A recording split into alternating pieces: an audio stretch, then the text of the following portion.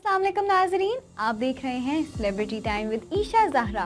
आज मेरे साथ मौजूद हैं पीएचए के सबका चेयरमैन सीनियर सियासतदान और रहनुमा पाकिस्तान मुस्लिम लीग नून साहिवाल। आइए आपकी मुलाकात करवाते हैं हाजी पीर एहसान हक इदरीस के साथ। अस्सलाम सर कैसे हैं आप? अल्हम्दुलिल्लाह मैं ठीक हूँ। आप खैरियत से अल्हम्दुलिल्लाह।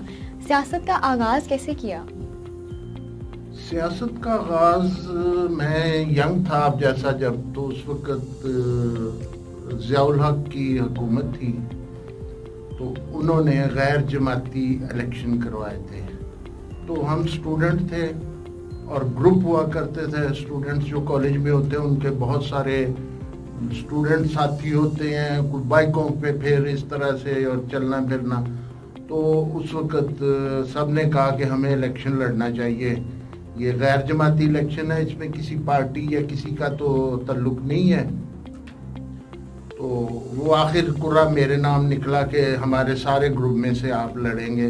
तो वो मैंने फिर गैर जमाती एम का इलेक्शन साहिवाल शहर से उस वक़्त लड़ा था। आप पीएचए के सबका चेयरमैन रह चुके हैं। साहिवाल की खूबसूरती को बरकरार रखने के लिए आपने क्या इकदाम किए हैं?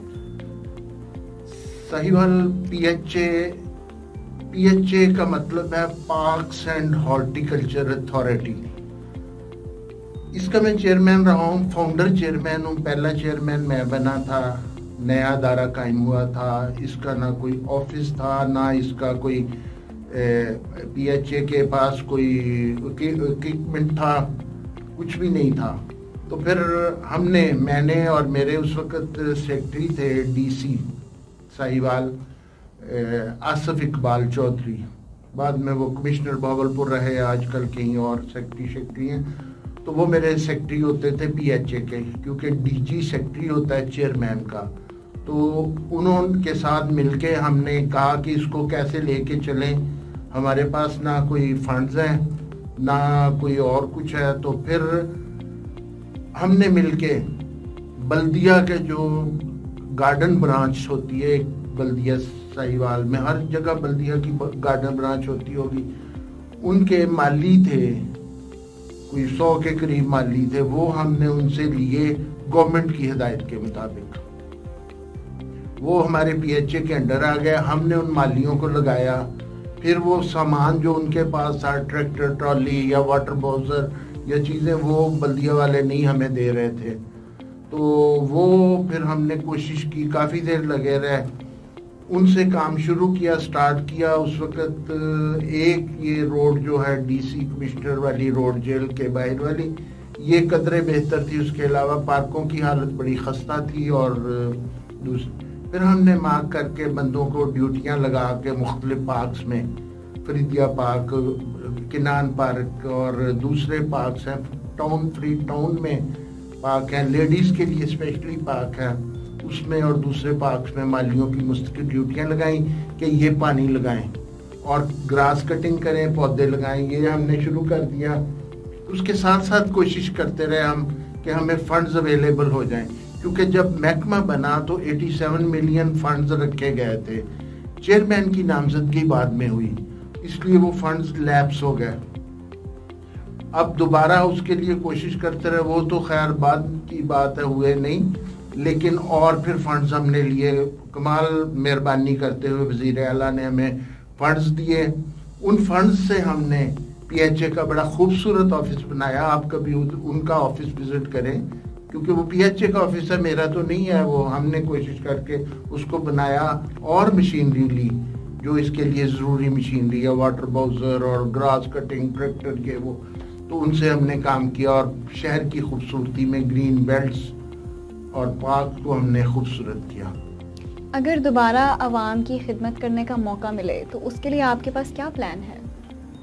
अवाम की खिदमत इसमें तो थोड़ी है ज़्यादा नहीं है। ये तो अपनी खिदमत है मैं समझता हूँ। आप पौधे लगाते हैं तो अल्लाह ताला आपके लिए जन्नत में पौधा लगाता है। तो हम पौधे लगाते रहे फूल लगाते रहे वो सारा किया है। लेकिन आवाम के भी लिए भी अच्छे मौके फ्राहम किए हैं कि वो ग्रीन बेल्ट्स में जाएँ पार्क्स में जाएँ, उनका वॉकिंग ट्रैक जो है जॉगिंग ट्रैक है, वो हमने दुरुस्त किए।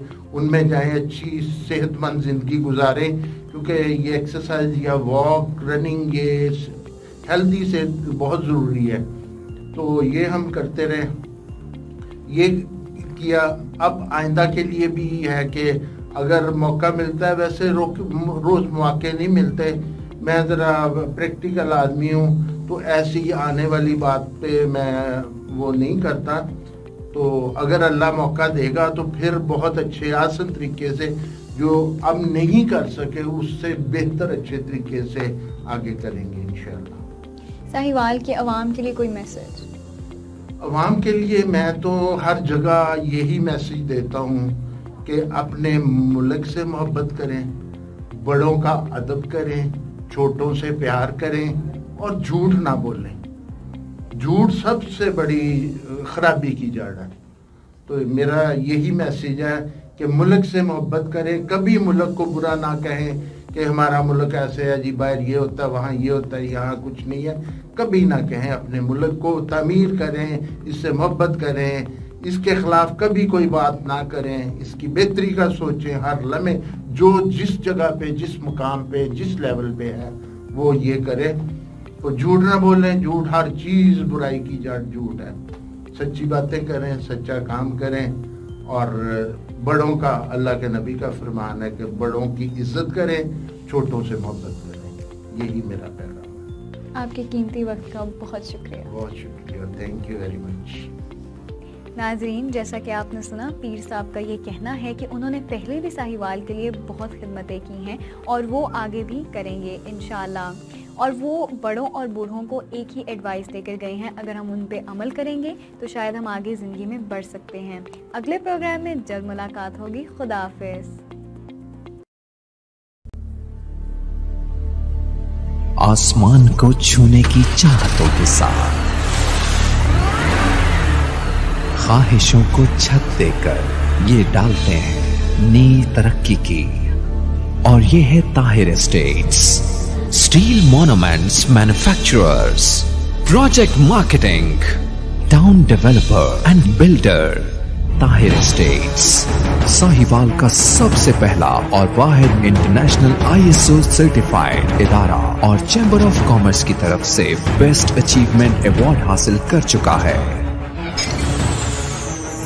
जिन्होंने साहिवाल में रेजिडेंशियल और कमर्शियल प्रॉपर्टी में मार्केटिंग को दी एक नई पहचान साहिवाल में कामयाब projects Jeevan City. Safari City Okara. Al Rajaf villas. Eden Garden, Gulshan Zainab Farid Avenue. Alhamra block. Sahiwal estate and new project in Arifwala defence city housing scheme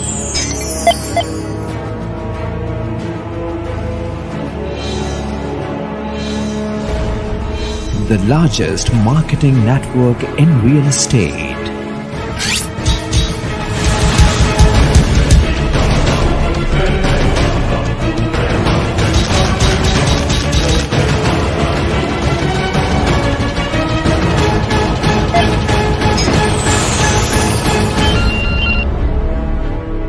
Tahir Estates Commercial Plaza number 1, Jeevan City Phase 1, Main Mudhali Road, Sahiwal. UN number 923041110300.